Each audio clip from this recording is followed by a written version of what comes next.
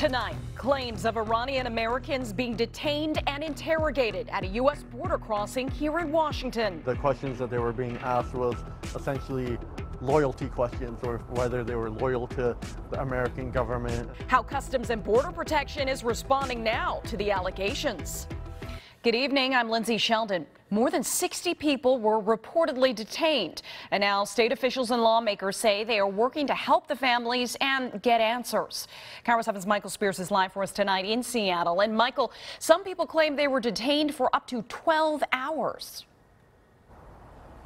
Some people report being there for the holidays. Many others say they were attending a concert, but dozens of people say they were detained and questioned at the border for hours. And tonight there are concerns that this may happen again given the tensions with Iran. Stopped at the border and reportedly questioned.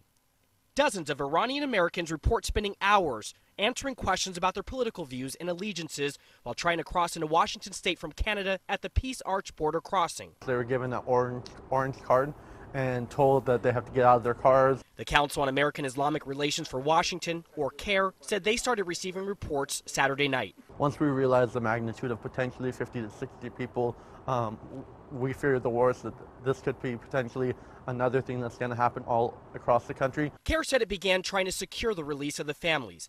In a now viral tweet, U.S. Congresswoman Pramila Jayapal said she was deeply disturbed by the reports and that her office had been working on this all morning.